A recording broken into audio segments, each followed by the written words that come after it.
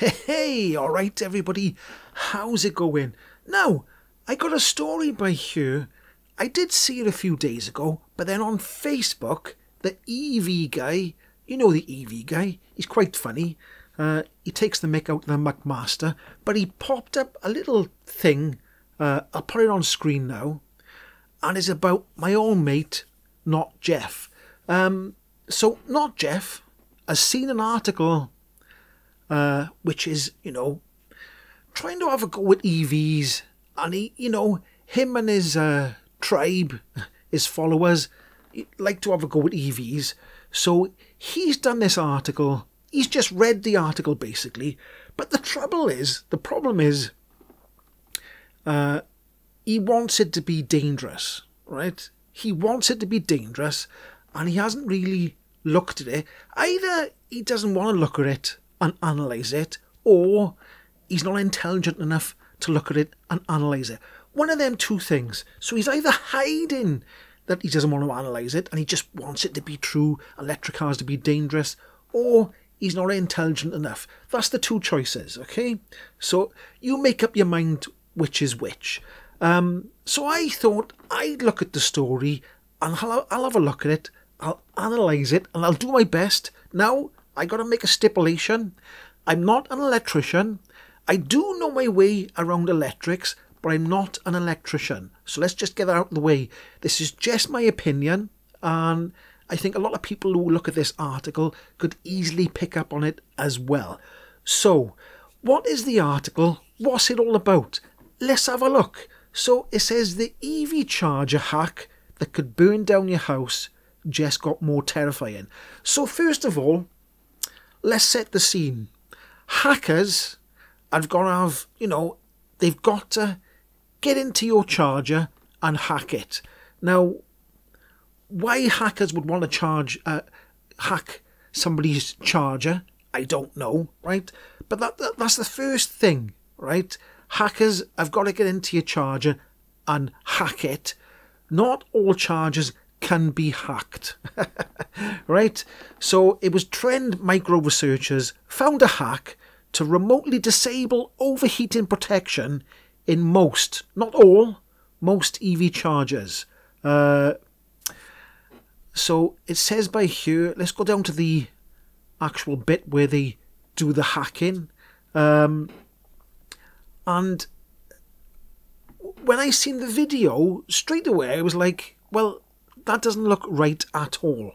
Um, they've gone to great lengths to overpower the charger. So it's not plugged into a car. Let's let's let's make that point first.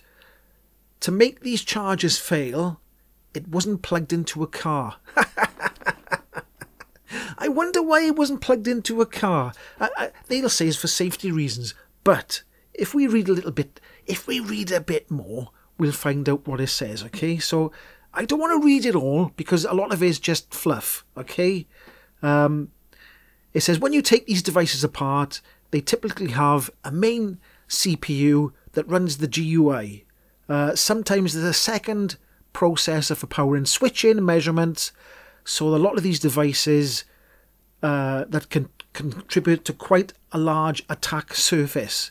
In short, EV chargers aren't currently designed with security in mind. So, you know, nobody wants their EV charger hacked. If somebody does want to hack an EV charger, a lot of things can be hacked.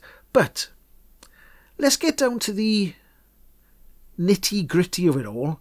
It says the results, as demonstrated in a clip reel of all the tests, were nothing short of alarming. In every case, the cables overheated. Some spewed flames, including bits of molten copper. Some released flammable gases into the air, when, uh, which then ignited. One melted the cord holder off the wall. Uh, any cable that didn't fail violently still failed by melting, said Anderson. Let's just go back to the start here. That the uh, this is written by Neil J. Rubenking, uh, so let's go back down to this bit here. Now I'm looking at the video and it did say somewhere by here let me just find it, that they had to uh, rig up a device, and I think they used lots of electric heaters joined together to overpower the charger. This is what they did. So it wasn't it wasn't plugged into a car, and if I put up on the screen now, I don't know if you can see. Uh, well, you should be able to see because I put on the screen. Uh, it's 234.5 volts, and the amperage is 81.1 amps. Now, that's where the first problem comes from.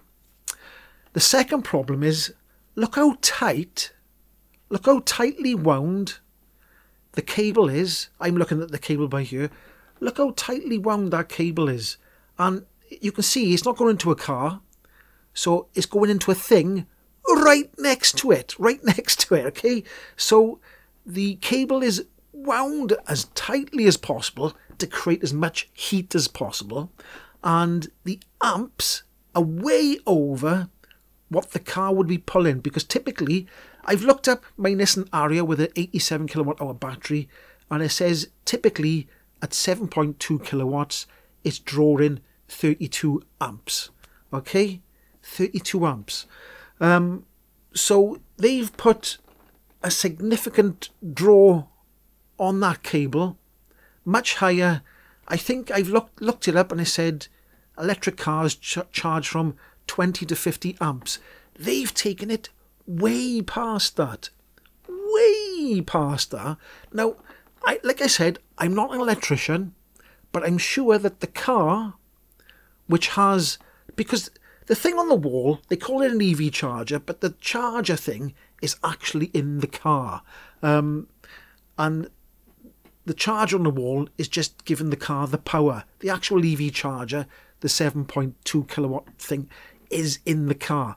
So I'm assuming, I could be wrong, but no car is going to pull the 81.1 amps that they've got this device pulling on that charger. So first of all, it's got to be hacked. Secondly, your cable has got to be wound as tight as physically possible. Thirdly, you've got to over amp the the wall charger. You've got to overamp it. You've got to have a, a, draw on it that's going to overamp it after it's been hacked and the cable is wound tightly. So they've gone to the extremes here to prove it's dangerous. Um, now, did not Geoff say any of that what I just said? Of course he didn't. He just blurted out it's dangerous and then you go into the comment section down below